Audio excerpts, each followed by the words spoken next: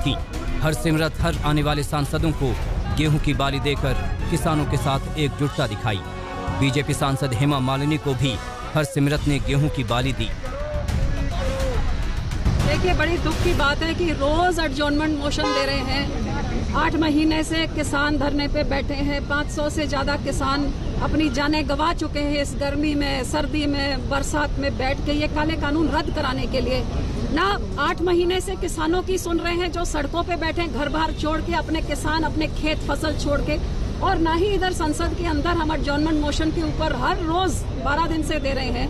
Admit करके, चर्चा करके सारे हाउस की सहमति लेके कि ये क्यों वापस होने चाहिए, वो हमारी यहाँ पे आवाज़ कुचली जा रही है। सदन के अंदर हंगामे का बोलबाला था, लेकिन हंगामे के बीच प्रश्नकाल में दो महिला सांसदों ने किसानों की बात भी की। दोनों महाराष्ट्र से सांसद हैं।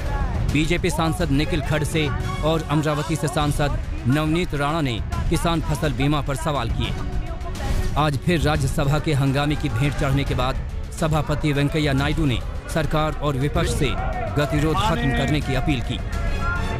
वेंकैया नायडू ने फिर अलग से सरकार से चार बड़े मंत्रियों अमित शाह राजनाथ सिंह प्रहलाद जोशी और पीयूष गोयल से मुलाकात की।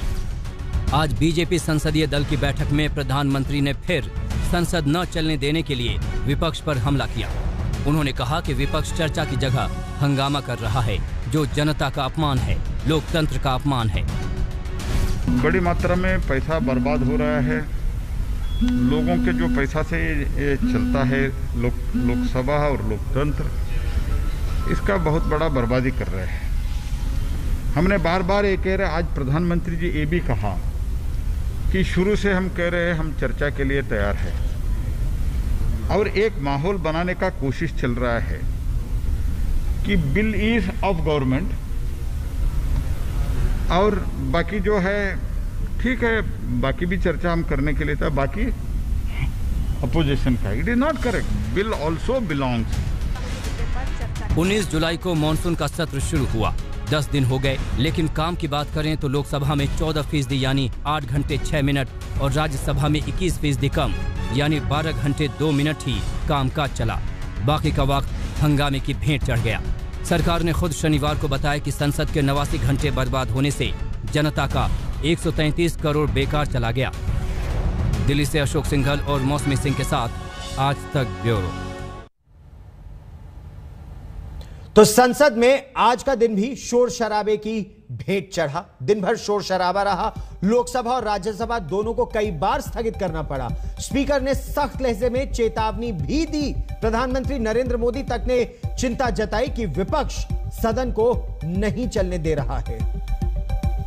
संघर्ष का समय है। सरकार गंभीर नहीं है कि संसद चले। और जो विषय विपक्ष ने उठाए हैं, उस पर चर्चा हो। आज अगर गतिरोध चल रहा है संसद के अंदर, उसकी पूरी जवाब, जिम्मेवारी सरकार की है। क्या कारण है जो पूरी दुनिया में जिस विषय की चर्चा है, उस पर भारत के अंदर ना जाँच हो, ना चर्चा हो? बड़ी मात्रा में पैसा बर्बाद हो रहा है। लोगों के जो पैसा से ये चलता है, लोक, लोकसभा और लोकतंत्र, इसका बहुत बड़ा बर्बादी कर रहे हैं। हमने बार बार ये कह रहे आज प्रधानमंत्री जी ये भी कहा कि शुरू से हम कह रहे हैं, हम